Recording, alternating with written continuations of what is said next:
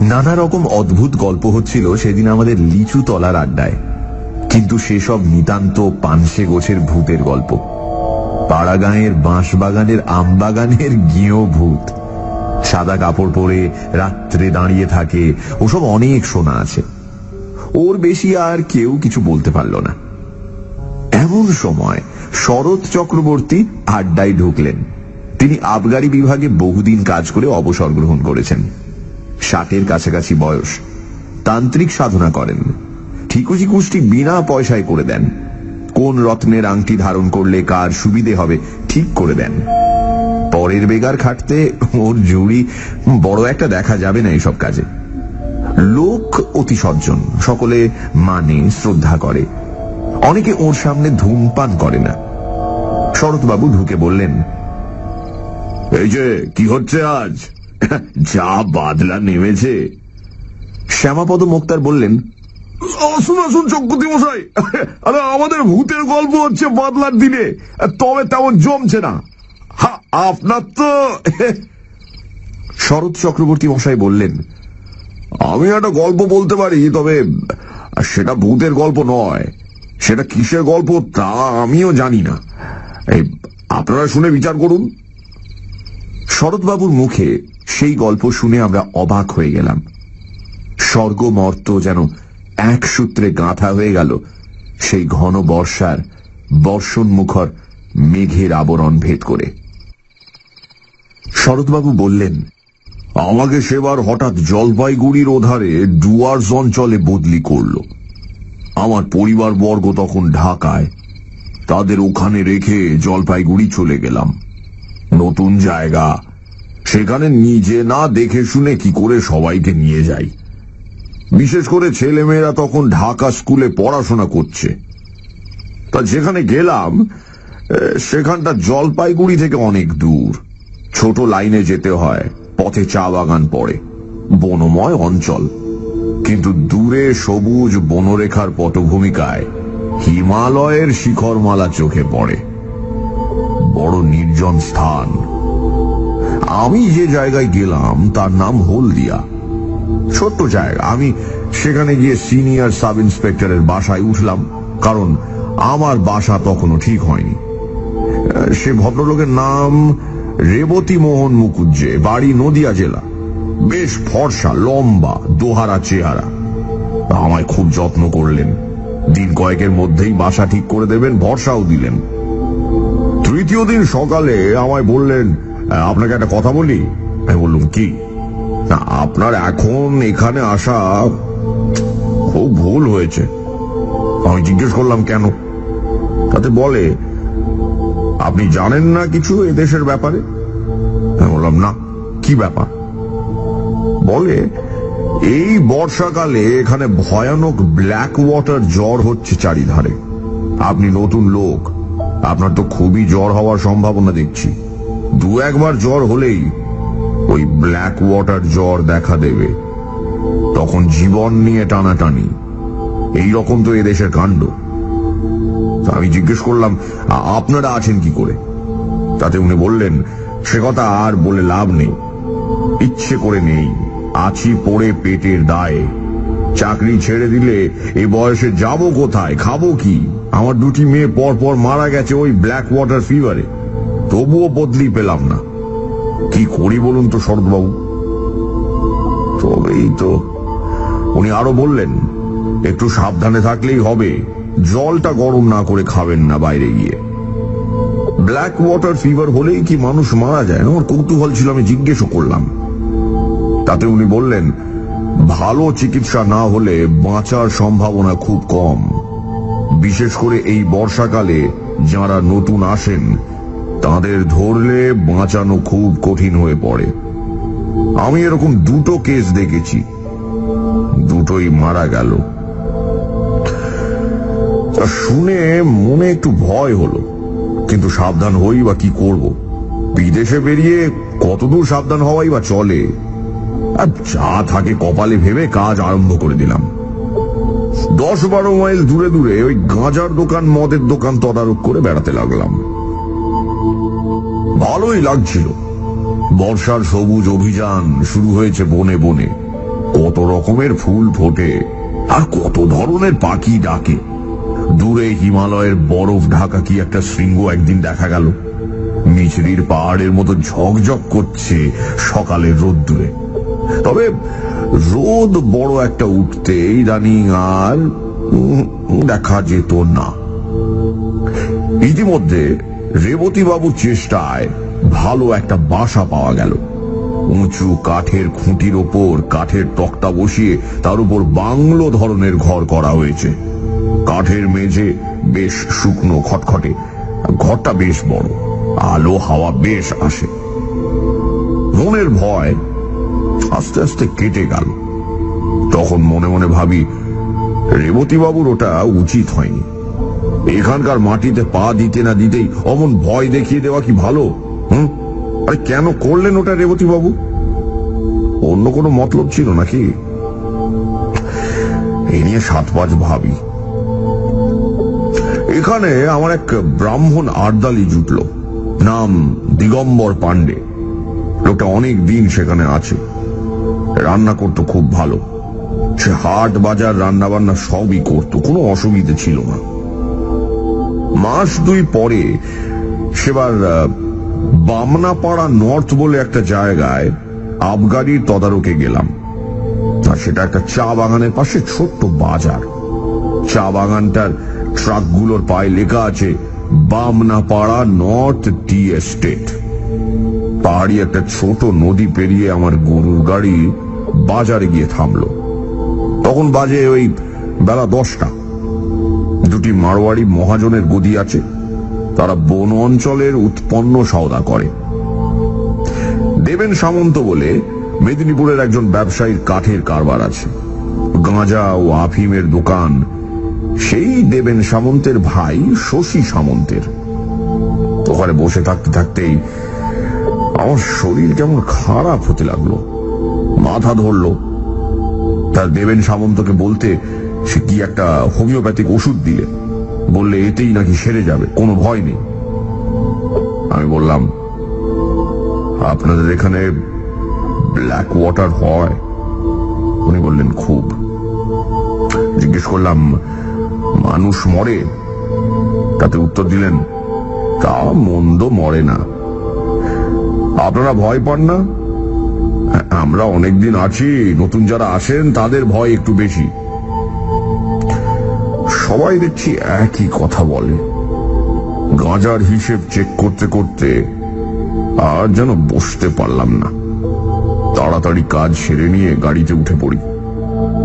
জল তেষ্টা পাওয়াতে বামনাপাড়া নর্থ চা বাগানের একটা গুমটি টিনের শেড থেকে জল চেয়ে খাই এক নেপালি দারোয়ানের কাছ থেকে। যখন বাসায় পৌঁছলাম, তখন বেলা হয়ে গেছে। আমার তখন খুব জ্বর। পথেই কাঁপুনি দিয়ে জ্বর এসেছে। খবর পেয়ে রেবতী বাবু ছুটে এলেন। ডাক্তার ডাকা হলো। ওষুধ আর ইঞ্জেকশন চলল। তিন দিনের মধ্যে জ্বর ছেড়ে গেল। দিন পনেরো বেশ আছি। সবাই বলে, ঠান্ডা লেগে অমনটা হয়েছিল হঠাৎ। ও, কিছু না। আমিও নিজেকে সেইভাবেই বোঝালুম। আবার বেশ কাজকর্ম করি। শরীরের কোনো কষ্ট নেই। একদিন হলদিয়া পুলিশ থানায় বসে থানায় দারোগার সঙ্গে গল্প করছি, হঠাৎ। হঠাৎ আবার জ্বর এলো। দারোগাবাবু লোক দিয়ে আমায় বাড়ি পাঠিয়ে দিলেন। আরদালি দিগম্বর পাঁড়েকে বললাম, জল দাও, জল খেয়ে শুয়ে পড়লাম। তিন দিন ভীষণ জ্বরের ঘোরে কাটল। রেবতীবাবু এবং থানার দারোগাবাবু দুবেলায় আসতেন। কীভাবে আমার সাবু বার্লি তৈরি করতে হবে আমার আরদালিকে শিখিয়ে দিয়ে যেতেন। তিন দিন পরে জ্বর কমে গেল।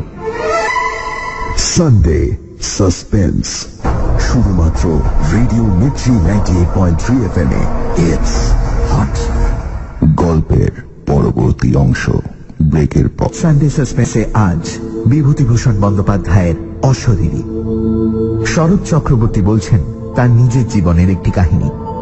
জলপাইগুড়ির ডুয়ার্স অঞ্চলে কর্মসূত্রে তিনি এসেছেন। কাজে জয়েন করার কিছুদিনের মধ্যেই স্থানীয় বাসিন্দারা সবাই শরৎবাবুকে একটু ভয় পাইয়ে দিলেন।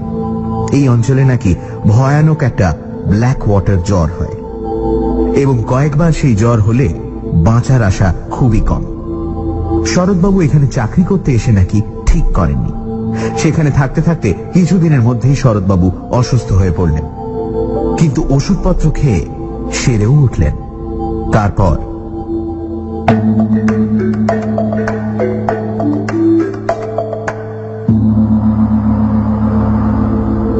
ক্রমে বেশ সেরে উঠলাম। কাজকর্ম আবার শুরু করে দিলাম। দিন পনেরো পরে চা বাগানের একটা আবগারি কেস দেখতে গিয়েছি। আবার হঠাৎ করে জ্বর এলো। এবার একটা জিনিস লক্ষ্য করলাম। এখানকার জ্বর ভেলকিবাজির মতো আসে, আবার ভেলকিবাজির মতো চলে যায়। সুতরাং প্রথম প্রথম জ্বর এলে আমার যেরকম ভয় হতো, এখন গা হওয়ার ধরুন সে ভয় একেবারেই নেই। আরদালিকে ডেকে বলে দিলাম, আগের মতো পথ্য প্রস্তুত করে আমাকে যেন খাওয়ায়। এবার কিন্তু একটু অন্যরকম হলো। অত সহজে এবার আমি নিষ্কৃতি পেলাম না। দিন দুই পরে উৎকট ব্ল্যাক ওয়াটার জ্বরের সব লক্ষণগুলি আমার মধ্যে ফুটে বেরুল। অতিরিক্ত রক্তপাতের দরুন অত্যন্ত দুর্বল হয়ে পড়লাম। সেরে উঠতে পাঁচ ছ দিন লেগে গেল। দিন দুই পথ্য করার পর একদিন সকালবেলা আমার সঙ্গে রেবতীবাবু আর দারোগা বাবু দেখা করতে এলেন। দালিকে চা করে দিতে বললাম কিন্তু তারা চা খেলেন না। পরে বুঝেছিলাম তারা চা খাননি। ব্ল্যাক ওয়াটারকে ছোঁয়াচে জ্বর ভেবেই। দারোগা বাবু বললেন সদবাবু আর একটা কথা বলি? বলুন "না, আপনি এখান থেকে চলে যান। জিজ্ঞেস করলাম, কেন বলুন তো? ডাক্তারবাবু তাই মত। আমাকে তো কিছু বলেননি। দারোগা বাবু ইতস্তত করে বললেন, তা আপনাকে বলেননি, আমাদের বলেছেন আপনাকে বলবার জন্য। তাই বলা উচিত ভাবলাম। উনি বলেছেন, আপনার অসুখ খুব খারাপ। মানে আমি তো সেরে গিয়েছি। ও সারা বড় কঠিন শরৎবাবু। বেশ, তাহলে স্টেশন পর্যন্ত আমি যাব কি করে? রক্ষিয়া ঘাট পার হবার তো কোনো উপায় দেখি না। দাদাগোবাবু বললেন, আর কিছু ভাববেন না, স্ট্রেচার জোগাড় করছি, চা বাগান থেকে কুলি পাঠাবো। পুলিশের একজন লোক সাথী থাকবে। আপনাকে ট্রেনে উঠিয়ে না দিয়ে তারা ফিরবে না। আমি বললাম, বেশ আমি তখন জানতাম না যে আজই আমার জীবনের শেষ দিন হতো। যদি কিন্তু সে কথা পরে বলছি। আমি সম্মতি দিলে দারোগাবাবু চলে গেলেন। তখন বেলা নটা হবে। গরম জল করে নিয়ে আসতে বললাম আরদালিকে গা হাত মুছবো বলে। তারপর এক বাটি বার্লি খেলাম। আরও একটু বেলা হলে দুটি ভাতও খেলাম। বেলা বারোটার পর লোকজন এলো স্ট্রেচার নিয়ে। এই পর্যন্ত বলে শরৎ চক্রবর্তী বললেন, একটু চা খাওয়ার ইচ্ছে হচ্ছে। আমরা বললাম, আরে, গল্পটা শেষ করুন। চা খেয়ে নিয়ে বলব, এবার গল্পের আসল অংশটাতে এসে গিয়েছি কিনা একটু গলা ভিজিয়ে নিয়ে বলি হ্যাঁ? উকিল নিতাইবাবু বললেন, একটা কথা আপনি বললেন ব্ল্যাক ওয়াটার জ্বর হলো সেরে গিয়ে আপনি পথ্য করলেন। অথচ ডাক্তারবাবু কেন আপনার অসুখ খারাপ বললেন? অসুখ তো সেরে গিয়েছিল। সেরে গিয়েছিল কীরকম? এক্ষুনি সেটা শুনলে বুঝতে পারবেন। আসলে সারেনি। তবে পথ্য দিয়েছিল কেন ডাক্তার? এই কথার জবাব আমি দিতে পারব না। কাউকে জিজ্ঞেসও করিনি। তবে যেমন ঘটেছিল সেই রকম বলে যাচ্ছি। এটা একটা অদ্ভুত কথা বলছেন আপনি। কীরকম সে দেশে ডাক্তার বুঝলাম না মশাই। হ্যাঁ, এই কথাটা আমি কখনো ভেবে দেখিনি। আচ্ছা এবার বলি গল্পটা। শরৎ চক্রবর্তী আবার গল্প আরম্ভ করলেন। বেলা বারোটার পর স্ট্রেচার নিয়ে এলো চা বাগানের লোকজন। সেখানে দাঁড়িয়েছিলেন রেবতীবাবু ও দারোগা বাবু আমি আর আর্দালি জিনিসপত্র গোছাচ্ছি এমন সময়। এলো জ্বর। ভীষণ কাঁপুনি দিয়ে জ্বর। আর আমি বসতে পারলাম না। ঘরের মধ্যে গিয়ে তাড়াতাড়ি বাঁধা বিছানা আর্দালিকে দিয়ে খুলিয়ে পাতিয়ে শুয়ে পড়লাম। এবার আমি আর কিছুই জানি না। আমার সমস্ত চেতনা লুপ্ত হয়ে গেল। এক ঘন অন্ধকারের আবরণের অন্তরালে। যখন আবার আমার জ্ঞান হলো, তখন দুটো জিনিস আমার চোখে পড়ল প্রথমেই। অন্ধকারের মধ্যে একটা কি গাছের ডাল পাশের জানলার বাইরে হাওয়ায় দুলছে। আর দ্বিতীয় জিনিস হলো, আমার বাক্স পুটুলি আমার পায়ের দিকে দেওয়ালের কাছে রয়েছে এবং আমার ছাতাটা দেওয়ালের কোণে হেলানো রয়েছে। আমি কি রেলওয়ে ট্রেনে উঠেছি। এত অন্ধকার কেন? রেলের কামরা? অন্য লোকই বা নেই কেন? তারপর আস্তে আস্তে আমার মনের আকাশ মেঘ মুক্ত হয়ে আসতে লাগল। আমার মনে পড়ল যে আমি স্ট্রেচারে আদৌ উঠিনি। জ্বর আসতে ঘরে এসে শুয়ে পড়েছিলাম। কিন্তু ঘরই যদি হয়, আরদালি দিগম্বর কই? ঘরে আলো জ্বালেনি? আমি কোথায়? তেষ্টা পেয়েছিল। ডাকতে গেলাম ওকে। গলায় স্বর আটকে গেল। দুবার ডাকতে গেলাম। আর দুবারই তাই হলো। আমার মনে হলো বাইরে চাঁদ উঠেছে। জানালা দিয়ে ঘরের মধ্যে চাঁদের সামান্য আলো এসে পড়েছে। কিছুক্ষণ সামনের দিকে চেয়ে রইলাম। ঘরের মধ্যে বা বাইরে কোথাও কোনো শব্দও নেই। হঠাৎ আমার দৃষ্টি নিবদ্ধ হলো বাইরের দিকে। ওখানে? বাইরে? এই দেখুন, এতদিন পরে মনে পড়েও আমার গা শিউরে উঠল। দেখলাম কি জানেন? একটি কালো মতন মেয়ে অত্যন্ত দ্রুত গতিতে আমার ঘরের চারপাশে ঘুরছে আর একটা কাঠি দিয়ে মাটিতে কি যেন করছে। দুবার আমার সামনের দরজার ফাঁক দিয়ে সে নিচু হয়ে ঘুরে গেল। তিনবারের বার মেয়েটি হঠাৎ মুখ উঁচু করে আমার দিকে চেয়ে হাত নেড়ে বলল কোনো ভয় নেই তোর গন্ডি দিচ্ছি আজ রাতে এই গন্ডির মধ্যে কেউ আসতে পারবে না। ঘুমো? তুই ঘুমো। অতি অল্প সময়ের জন্য মেয়েটিকে চোখের সামনে দেখলাম। তারপর সে ঘুরে গেল ওদিকে। আমারও আর জ্ঞান রইল না। ঘুমিয়ে পড়লাম কি? এরপরে কতক্ষণ পর জেগে উঠেছিলাম তা বলতে পারব না। কিন্তু তখন চোখ খুলেই দেখলাম, সেই কালো মেয়েটি আমার শিওরের কাছে বসে। তার বয়স আঠেরো বছরের বেশি হবে বলে আমার মনে হলো না। আর একটা জিনিস লক্ষ্য করলাম। মেয়েটি যেন খুব ঘেমেছে। ওর মুখ ঘামে ভিজে গিয়েছে যেন। সারা শরীর দিয়ে যেন দরদর করে ঘাম ঝরছে। আমি ওর দিকে চেয়ে দেখতেই মেয়েটি চমৎকার শান্ত, স্নেহময় সুরে বলে উঠল, যাবি কেন?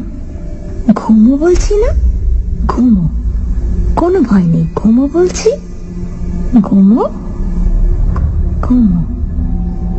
শেষবার যখন ও ঘুমো বলছে, তখন আমি ঘুমিয়ে পড়লাম ওর কথা শুনতে শুনতে। ঘুমিয়ে পড়বার আগে সেই গাছের ডালটার দিকে নজর পড়ল জানালার বাইরে।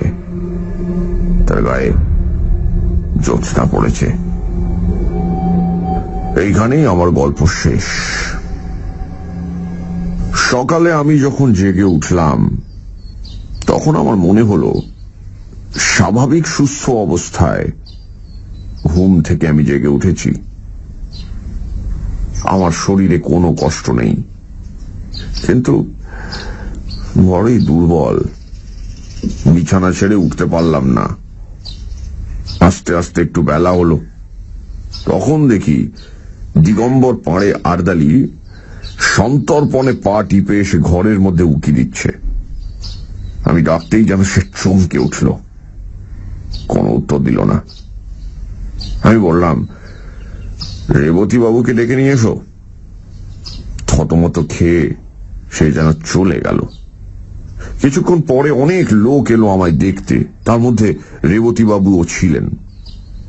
রেবতী বাবু বললেন ইয়ে কেমন আছেন শরৎবাবু? ভালো। আমি কিছু খাব। তখনই রেবতীবাবু বাইরে গিয়ে কাকে কি বললেন। খানিক পরে এক বাটি বার্লি এলো আমার জন্য। বার্লি খেয়ে শরীরে একটু বল পেলাম। ডাক্তার এসে পরীক্ষা করে বললেন জ্বর ছেড়ে গেছে। এর দিন দুই পরে আমি সম্পূর্ণ নিরোগ হয়ে উঠলাম। পথ্য করলাম। তখন আস্তে আস্তে শুনলাম, সেই ভীষণ রাতে আমাকে মুমূর্ষু মনে করে সবাই আমাকে ছেড়ে চলে গিয়েছিল একা ফেলে। ডাক্তারবাবু বলেছিলেন, রাত কাটবে না। এমনকি নাকি সকালে আমার সৎকারের জন্য কে কে যাবে, কোথায় কাঠ পাওয়া যাবে, এসব বন্দোবস্ত পর্যন্ত হয়ে গিয়েছিল।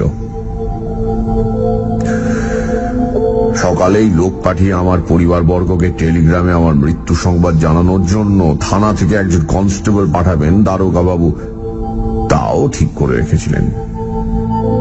অথচ সেই নির্বান্ধব, পরিত্যক্ত অবস্থায় কে আমার মৃত্যুসজ্জার পাশে সারা রাত বসেছিল কে আমার ঘরের চারিধারে গন্ডি এঁকে দিয়েছিল, আমাকে বিপদের হাত থেকে রক্ষা করতে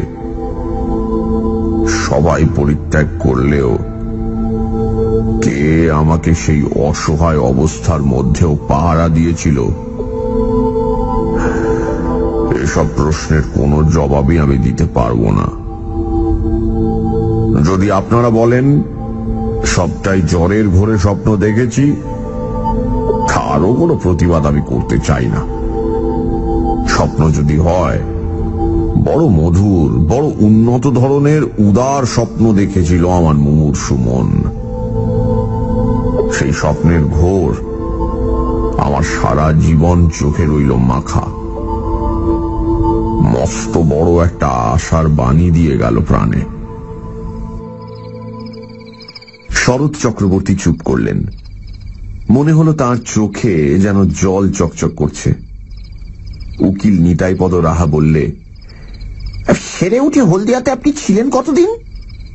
যতদিন এই গভর্নমেন্ট আমাকে বদলি না করেছিল তাও প্রায় দু বছর হবে। এইভাবে একা ছিলেন বাসায়? আমি আর দিগম্বর। আর কেউ না। আর কোনোদিন কিছু দেখেছিলেন? না। আর অসুখে ভুগেছিলেন? না। ঘন বর্ষার রাত। বাইরে বেশ অন্ধকার। জোনাকি জ্বলছিল উঠানের শিউলি গাছটার ডালে পাতায়। আমরা সবাই অনেকক্ষণ চুপ করে রইলাম। নিতাই উকিল আর বেশি কথা বলেননি। বৃষ্টি এসে পড়বে বলে শরৎ চক্রবর্তীকে আমরা বাড়ি পাঠিয়ে দিলাম ছাতা দিয়ে।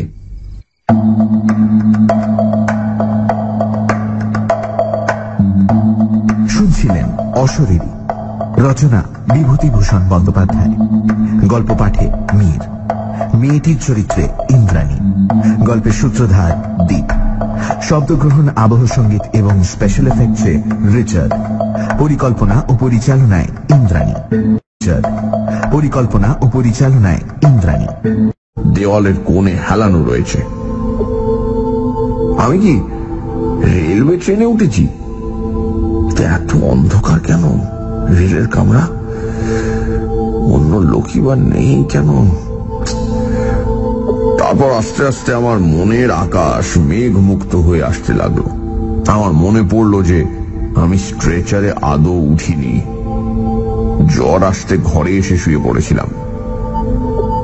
কিন্তু ঘরই যদি হয়, আরদালি দিগম্বর কই? ঘরে আলো জ্বালেনি? আমি কোথায়? তেষ্টা পেয়েছিল। ডাকতে গেলাম ওকে। গলায় স্বর আটকে গেল। দুবার ডাকতে গেলাম। আর দুবারই তাই হলো। আমার মনে হলো বাইরে চাঁদ উঠেছে। জানালা দিয়ে ঘরের মধ্যে চাঁদের সামান্য আলো এসে পড়েছে।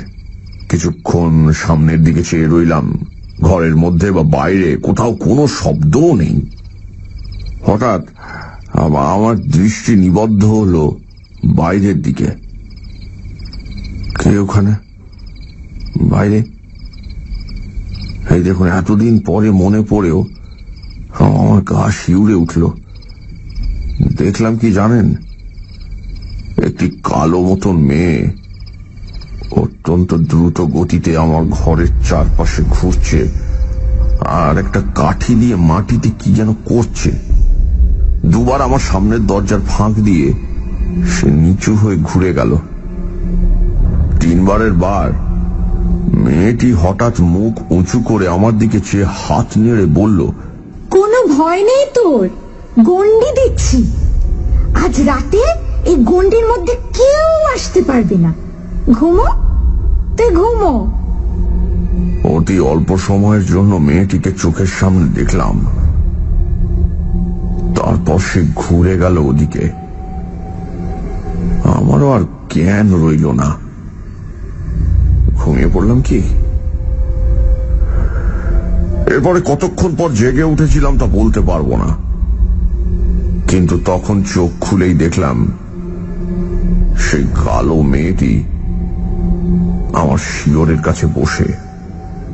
তার বয়স আঠেরো বছরের বেশি হবে বলে আমার মনে হলো না। আর একটা জিনিস লক্ষ্য করলাম। মেয়েটি যেন খুব ঘেমেছে।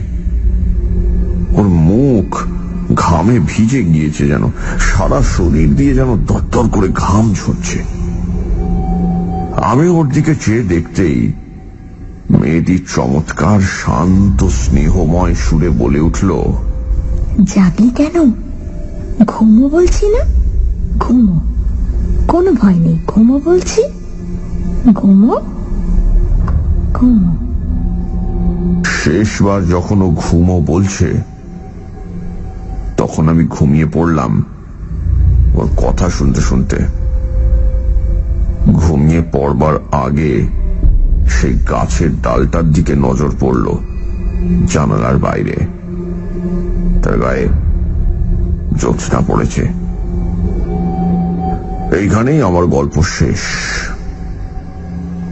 সকালে আমি যখন জেগে উঠলাম, তখন আমার মনে হলো, স্বাভাবিক সুস্থ অবস্থায় ঘুম থেকে আমি জেগে উঠেছি। আমার শরীরে কোনো কষ্ট নেই। কিন্তু বড়ই দুর্বল। বিছানা ছেড়ে উঠতে পারলাম না।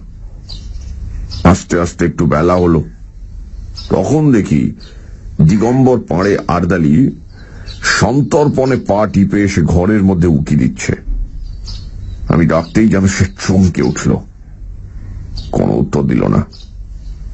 আমি বললাম রেবতী বাবুকে ডেকে নিয়ে এসো। থতমত খেয়ে সে যেন চলে গেল। কিছুক্ষণ পরে অনেক লোক এলো আমায় দেখতে। তার মধ্যে রেবতী বাবুও ছিলেন। রেবতী বাবু বললেন, এই ইয়ে কেমন আছেন শরৎবাবু? ভালো। আমি কিছু খাব। তখনই রেবতী বাবু বাইরে গিয়ে কাকে কি বললেন। খানিক পরে এক বাটি বার্লি এলো আমার জন্য। বার্লি খেয়ে শরীরে একটু বল পেলাম। ডাক্তার এসে পরীক্ষা করে বললেন, জ্বর ছেড়ে গেছে। এর দিন দুই পরে আমি সম্পূর্ণ নিরোগ হয়ে উঠলাম। তথ্য করলাম। তখন আস্তে আস্তে শুনলাম, সেই ভীষণ রাতে আমাকে মুমূর্ষু মনে করে সবাই আমাকে ছেড়ে চলে গিয়েছিল একা ফেলে। ডাক্তারবাবু, বলেছিলেন রাত কাটবে না। এমনকি নাকি সকালে আমার সৎকারের জন্য কে কে যাবে, কোথায় কাঠ পাওয়া যাবে, এসব বন্দোবস্ত পর্যন্ত হয়ে গিয়েছিল। সকালেই লোক পাঠিয়ে আমার পরিবারবর্গকে টেলিগ্রামে আমার মৃত্যু সংবাদ জানানোর জন্য থানা থেকে একজন কনস্টেবল পাঠাবেন দারোগা বাবু তাও ঠিক করে রেখেছিলেন। অথচ সেই নির্বান্ধব পরিত্যক্ত অবস্থায়। কে আমার মৃত্যুসজ্জার পাশে সারা রাত বসেছিল? কে আমার ঘরের চারিধারে গন্ডি এঁকে দিয়েছিল? আমাকে বিপদের হাত থেকে রক্ষা করতে। সবাই পরিত্যাগ করলেও কে আমাকে সেই অসহায় অবস্থার মধ্যেও পাহারা দিয়েছিল? এসব প্রশ্নের কোনো জবাবই আমি দিতে পারব না। যদি আপনারা বলেন, সবটাই জ্বরের ঘোরে স্বপ্ন দেখেছি, তারও কোনো প্রতিবাদ আমি করতে চাই না। স্বপ্ন যদি হয়, বড় মধুর, বড় উন্নত ধরনের, উদার স্বপ্ন দেখেছিল আমার মুমুর সুমন। সেই স্বপ্নের ঘোর আমার সারা জীবন চোখে রইল মাখা। মস্ত বড় একটা আশার বাণী দিয়ে গেল প্রাণে। শরৎ চক্রবর্তী চুপ করলেন। মনে হলো তার চোখে যেন জল চকচক করছে। উকিল নিতাইপদ রাহা বললে, সেরে উঠে হলদিয়াতে আপনি ছিলেন কতদিন? যতদিন এই গভর্নমেন্ট আমাকে বদলি না করেছিল, তাও প্রায় দু বছর হবে। তো এইভাবে একা ছিলেন বাসায়? আমি আর দিগম্বর। আর কেউ না। আর কোনোদিন কিছু দেখেছিলেন? না। আর অসুখে ভুগেছিলেন? না। ঘন বর্ষার রাত। বাইরে বেশ অন্ধকার। জোনাকি জ্বলছিল উঠানের শিউলি গাছটার ডালে পাতায়। আমরা সবাই অনেকক্ষণ চুপ করে রইলাম। নিতাই উকিল আর বেশি কথা বলেননি। বৃষ্টি এসে পড়বে বলে শরৎ চক্রবর্তীকে আমরা বাড়ি পাঠিয়ে দিলাম ছাতা দিয়ে।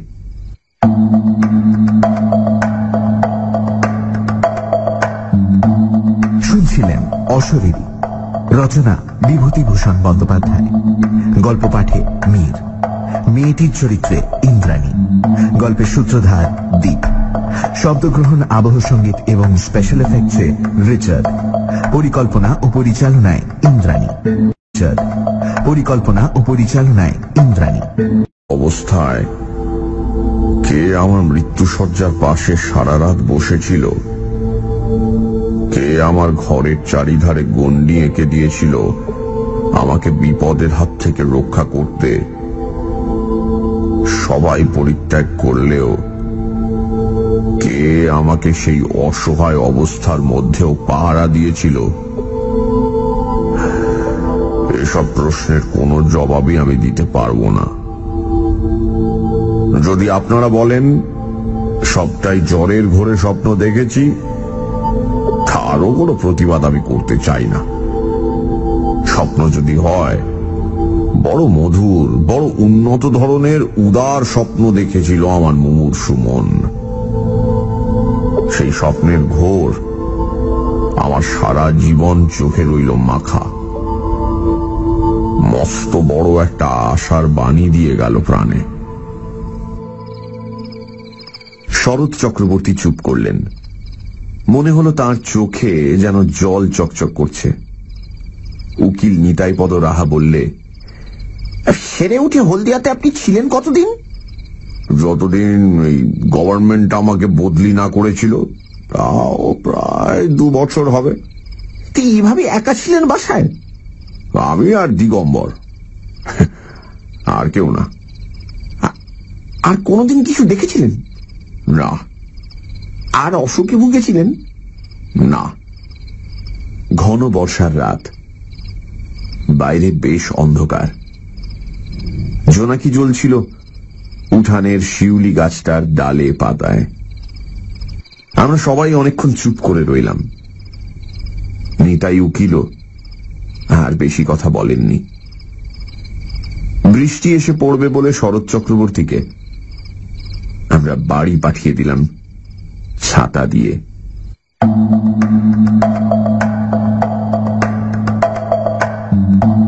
শুনছিলেন অশরীরী। রচনা বিভূতিভূষণ বন্দ্যোপাধ্যায়। গল্প পাঠে মীর। মেয়েটির চরিত্রে ইন্দ্রাণী। গল্পের সূত্রধার দ্বীপ শব্দগ্রহণ, আবহ সংগীত এবং স্পেশাল এফেক্টসে রিচার্ড। পরিকল্পনা ও পরিচালনায় ইন্দ্রাণী। পরিকল্পনা ও পরিচালনায় ইন্দ্রাণী। ধানের শিউলি গাছটার ডালে পাতায়। আমরা সবাই অনেকক্ষণ চুপ করে রইলাম। নিতাই উকিল আর বেশি কথা বলেননি। বৃষ্টি এসে পড়বে বলে শরৎ চক্রবর্তীকে আমরা বাড়ি পাঠিয়ে দিলাম ছাতা দিয়ে।